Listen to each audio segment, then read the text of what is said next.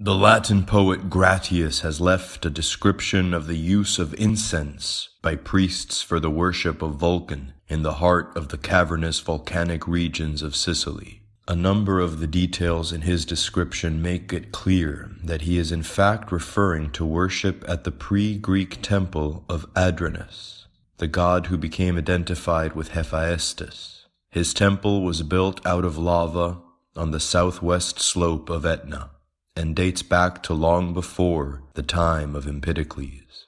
Taken together with the passage in the Etna Latin poem, the evidence would appear to suggest a coherent picture of ancient fire worship based at a temple located close to, but also at a comparatively safe distance from, the main crater and carried up to the crater's mouth when circumstances and conditions permitted.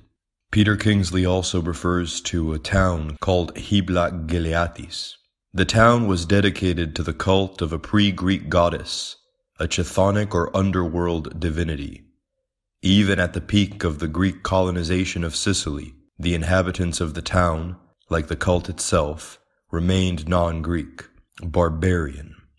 These people, and apparently one family in particular, were famous among the Greeks not just for their remarkable piety, but above all, for their skill in the interpretation of dreams and omens.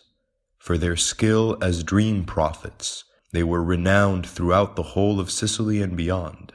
Here again, we are dependent on the late authority of Cicero and Pausanias, and yet this time the person whom they cite as the source of their information, Philistus, takes us back to the 5th century BC.